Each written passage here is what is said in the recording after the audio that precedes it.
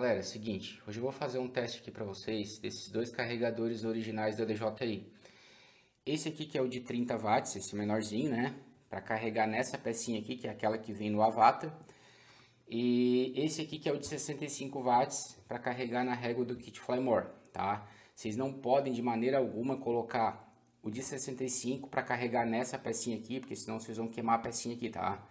E se quiser inverter aqui, ó, de 30 watts colocar na régua do kit Flymore, até pode colocar, só que não é o indicado, tá bom? Então a gente vai fazer esse teste aqui para vocês sem enrolação, eu vou cronometrar, coloquei o cronômetro aqui e já tá tudo ligadinho, tá? Aqui, ó, deixa eu ó, mostrar aqui para vocês, ó.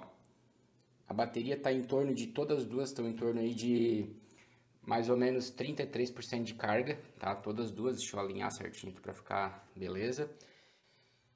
Então, pessoal, isso aqui, para quem não sabe, é uma régua protetora anti-surto, tá? Essa peça transparente aqui, ó. Isso aqui ele vai proteger os aparelhos que aqui estiverem conectados de curto-circuito na rede elétrica, né? É, relâmpago, trovoada, tudo que atingir a rede elétrica aí da casa de vocês, é, ele vai proteger para não deixar chegar até nos aparelhos que estiverem conectados aqui, tá? Pode ser um notebook, pode ser um, um celular, o que for, bateria de drone, né? O que, que vocês estiverem carregando aqui.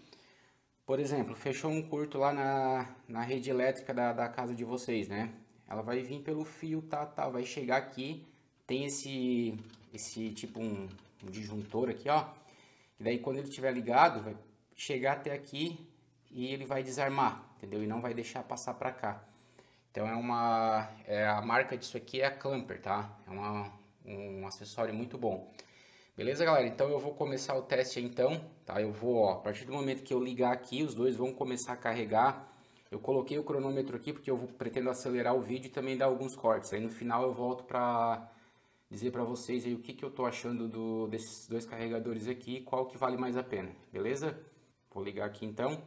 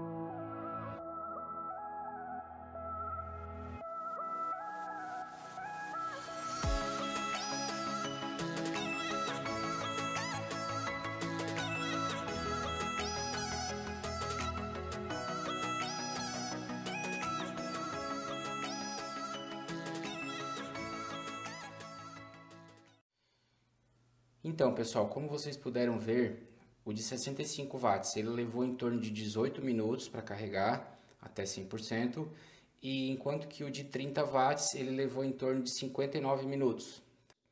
Só que é o seguinte, tá? É, o de 30 watts, ele até está dentro do tempo que ele leva, em torno de uma hora, uma hora e quatro minutos, mais ou menos, tá? Esse tempo pode variar um pouquinho, né? O de 65 watts, ele carregou muito rápido, eu não entendi por quê. Normalmente, tá? O tempo que ele leva é 28, 30, pode levar até 32, 33 minutos, tá bom?